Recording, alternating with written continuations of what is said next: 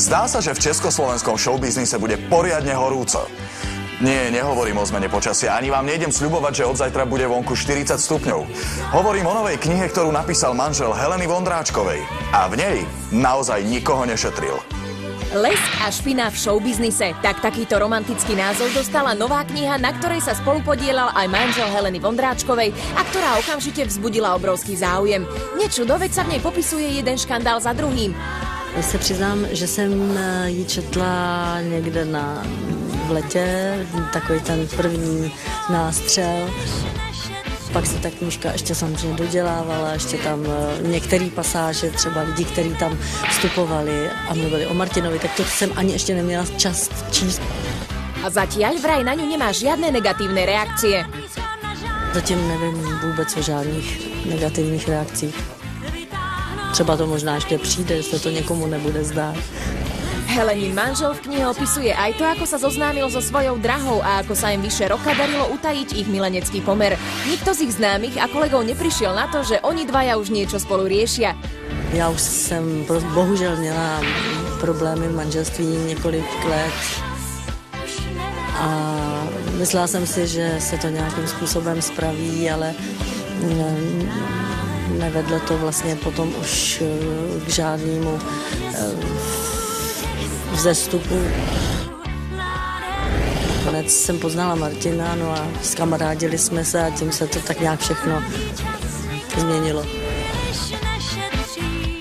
knihe je aj šokujúca situácia, keď Helena ešte stále žila so svojím vtedajším nemeckým manželom.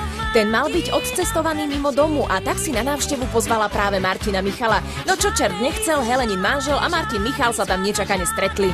Ne, no tak to nebylo, jako že, že by to bylo nějaký prostě nepříjemné setkání, infagranty to ne, tak mm, oni o sobě věděli, protože uh, manžel bývalý věděl, že Martin je fanfoře a že vlastně se setkáváme na různých těch eh, akcích, takže to nebylo tak, jako že bych si přivedla domů někoho. Pravdou je, že kniha nie je len o ich živote. Na mužku si tam vzal Martin Michal aj herečku Kateřinu Brožovú, s ktorou, ako sa vie, sa Helena veľmi nemusí. Za všetko mohlo jedno Martinovo vyjadrenie v rádiu, keď sa ho redaktor spýtal, ako by porovnal spev svojej Helenky a Kateřiny. Byl dotázán jak se mu líbí zpěv, jak by porovnal zpěv eh, Kateřiny a můj a on se vyjádřil. Já si myslím, že nebylo třeba zrovna ze strany Katky dělat takový jako z toho čoromoro, eh, že to je jako když srovnáte Trabant s Mercedesem, no tak byl to jeho názor, ale zase to nic tak jako si myslím strašného, aby kvůli tomu musela být taková vřava. No a táto vrava, ako to Helena nazýva, skončila dokonca už aj na súde. Ako je známe, Kateřina ešte knihu nečítala. Kde je problém?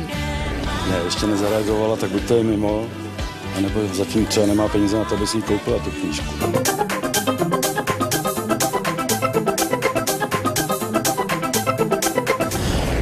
Médiami nedávno prebehli aj správy, že Helena Vondráčková možno predsa len zakope vojnovú sekeru so svojím bratom, s ktorým už nejaký ten čas neprehovorila ani slovo. Dôvod, prečo by sa mali ľady prelomiť, je vraj ten, že Jiří je údajne ťažko chorý. Kedy si boli kolegyne, dobré kamarátky a dnes vzťahy medzi nimi rozhodne nie sú dvakrát ideálne. Reč je o Helene Vondráčkovej a Marte Kubišovej, ktoré kedysi spolu s Václavom Neckáržom tvorili skupinu Golden Kids. Nedávno na verejnosť prenikli informácie, že medzi dámami vznikli isté nezhody a Helenin manžel Martin Michal ich dnes vysvetľuje takto. Vyloženě na, jejich, eh, na její manažerovi, který vlastně cel, zhatil vlastně celou tu práci a rozbil, rozbil to Golden Kids a pak bohužel na jejich závisky. Samozrejme, že Marta a Helena po týchto nezhodách prestali spolu komunikovať a na otázku, či je medzi nimi dnes nejaký kontakt, Martin Michal odpovedá takto. Zaplať pán žádný.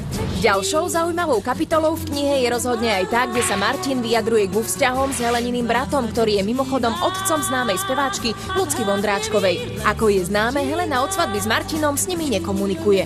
Samozřejmě, protože to je vlastně kapitola, která je nesmírně důležitá, protože ta vlastně rozpoutala veškerý ty bulvární pomluvy, které tam byly, protože 90% těch nepravdivých informací tak pocházejí od něho on je jejich nositelem, takže samozřejmě. Média nedávno začali špekulovať, či sa vzťahy medzi Helenou a jej bratom predsa len neurovnajú. Dôvod ich zblíženia by mohol byť vraj aj ten, že Helenin brat údajne trpí zákernou chorobou. Já o tom nic nevím. Já jsem se s ním nikdy v životě nepotkal, nikdy jsem se s ním nesetkal, nepromluvili jsme spolu slovo, takže neznám ani jeho zdravotní problém, jestli je má, nemá, nevím.